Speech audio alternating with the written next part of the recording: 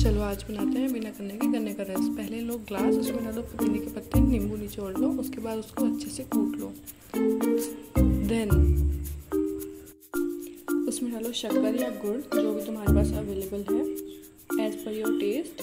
and then add some salt according to your taste then add some water और उसको अच्छे से mix कर लो। मिक्सर में या ग्राइंडर में या हाथ से, जैसे भी तुम्हें जैसे तुम कर सको एंड देन योर गन्ने का रस इज़ रेडी ये